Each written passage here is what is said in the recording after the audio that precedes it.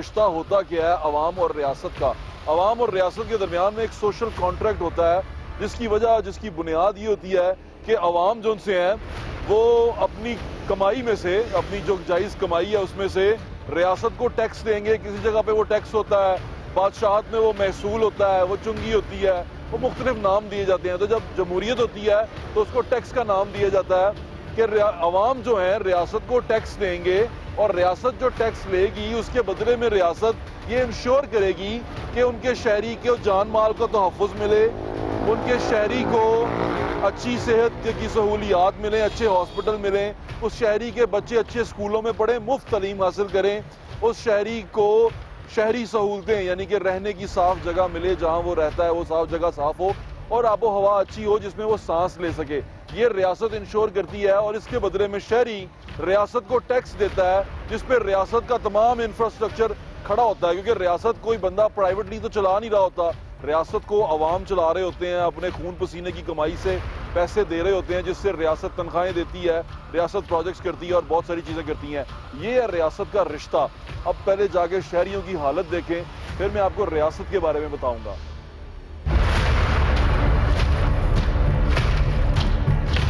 अब रहते कैसे हैं? मैं तो यहाँ खड़ा होकर मुझसे बात मुश्किल है। ये तब्दीली का मज़ा ले रहे हैं हम लोग। कितने अरसे से हुआ ये?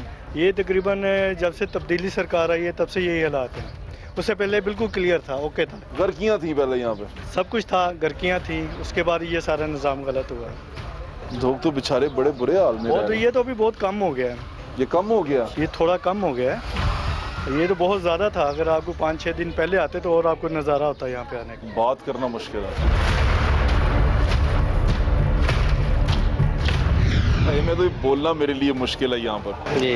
बच्चे कैसे बैठ के पढ़ते हैं? बस क्या करें मजबूरी है कि जहाँ पे कोई ये कितने अरसे से ऐसे है? तकरीबन एक साल होने वाला इसको। एक साल से एक ऐसे साल का हो गया आप शिकायत करते हैं? जो शिकायत करते हैं वो कहते हैं हमारे ये इसमें टेरिटरी में नहीं आता। कहते हैं कि हम इधर को वाली बार कोई नहीं बनता। है आप M N M P S को शिकायत करते हैं? जी जी एम एन किसको की?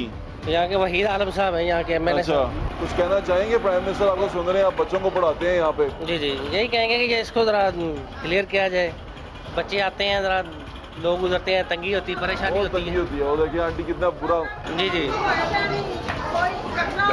ਕੀ ਹਾਲ ਜੀ ਭਾਜੀ ਠੀਕ ਹੋ ਆਹ ਸਾਰੀ ਕਰ ਕੁਛ ਭਾਈ ਬੜੀ ਗੰਦਗੀ ਜੇ ਦੇਖੋ ਛੋਟੇ ਛੋਟੇ ਬੱਚੇ ਨੇ ਆ ਤੁਸੀਂ ਆਏ ਜੇ ਸੁੱਕਾ ਜਗ੍ਹਾ ਹੈ, ਤੁਸੀਂ ਵੇਖਿਆ ਹੀ ਨਹੀਂ ਹਾਲਾਤ ਖਰਾਬ ਸੀ ਇਸ ਤੋਂ ਜ਼ਿਆਦਾ ਹਾਲਾਤ ਖਰਾਬ ਲੰਘਿਆ ਨਹੀਂ ਜਾਂਦਾ ਇਹ ਹੁਣ ਤਾਂ ਸਕੂਨ ਹੋ ਗਿਆ ਲੰਘ ਬੰਦਾ ਲੰਘ ਜਾਂਦਾ ਲੰਘਿਆ ਨਹੀਂ ਜਾਂਦਾ ਹੈਗਾ ਟਰਾਲੀ ਪਾਈ ਉਹਨਾਂ ਨੇ ਉਹ ਮਾਂ ਦੇ ਦਫ਼ਤਰ ਜਾਈ ਉਹ ਕਹਿੰਦੇ ਸਾਡੇ ਇਲਾ- ਇਹ ਇਲਾਕਾ ਸਾਡਾ ਨਹੀਂ ਹੈਗਾ ओहो ਇਹ ਵਾਸਾ ਦਾ ਇਲਾਕਾ ਹੀ ਨਹੀਂ ਹੈਗਾ ਗੈਰ ਬਾਦ ਚ ਹੈਗਾ ਇਹ ਮਨ ਪਾਰ ਇਲਾਕਾ ਹੈਗਾ बंद पार रखा ये ये 125 और 126 की बाउंड्री है ने एक में वहीद आलम खान साहब हैं एक में हमाद अदर साहब हैं